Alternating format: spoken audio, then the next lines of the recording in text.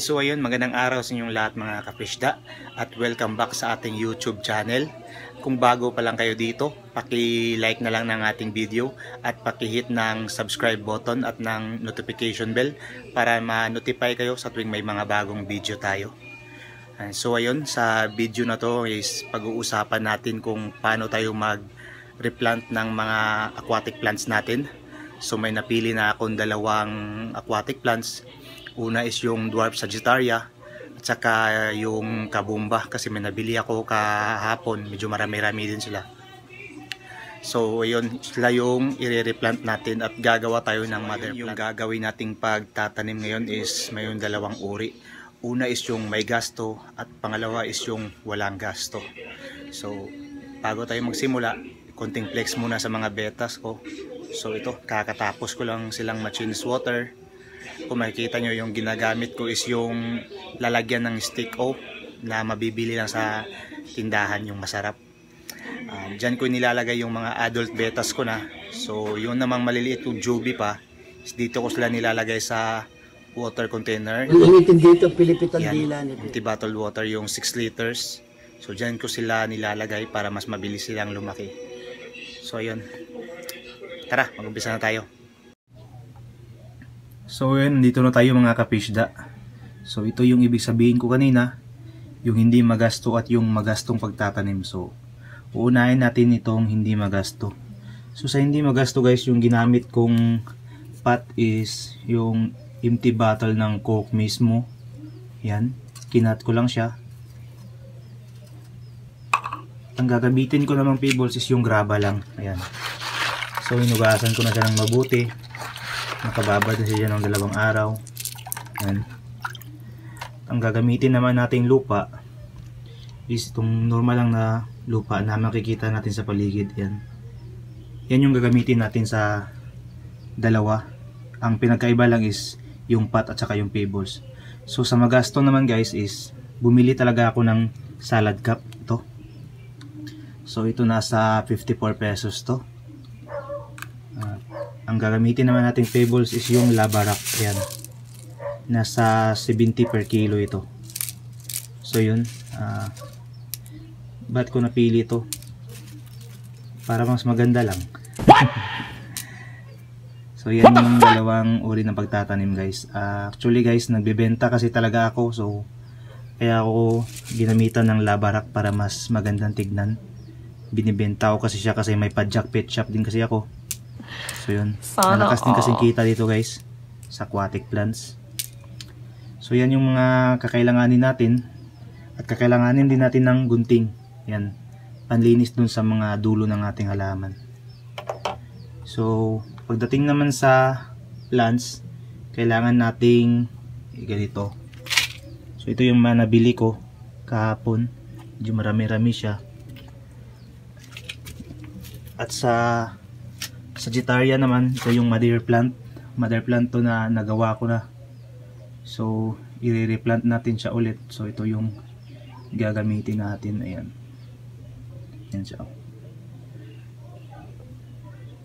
So, yun. Mag-umpisa na tayo.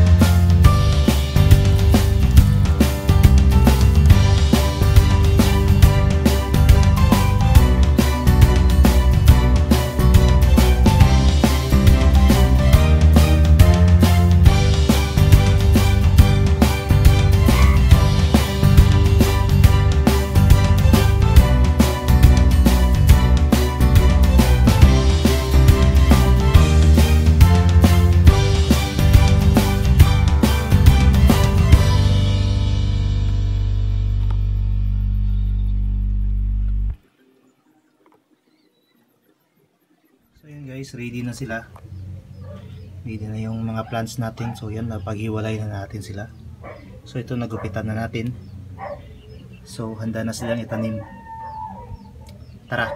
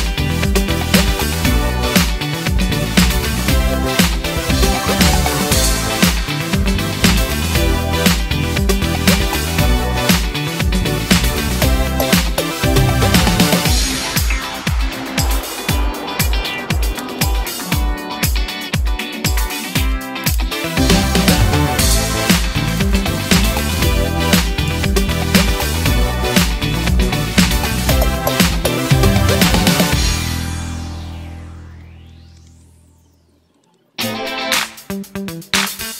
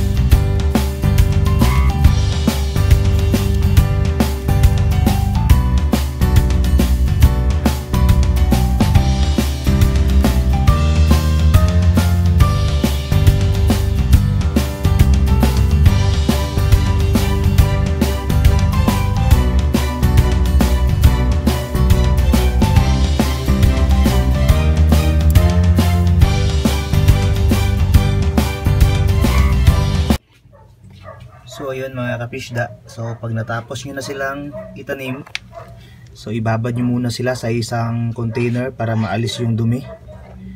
So yan. Pag nababad nyo na, tsaka nyo sila ilipat dun sa paglalagyan nyo talaga. Ayan. So yan. So di ko masyadong nilaliman yung tubig kasi baka lumutang yung plants. So yung purpose ng pebbles guys is para mapigilan din yung paggalaw ng plants. Yan.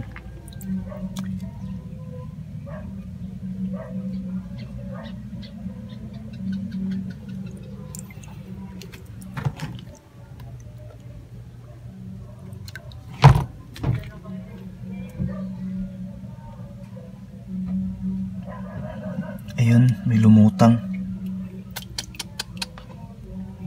Okay lang yan.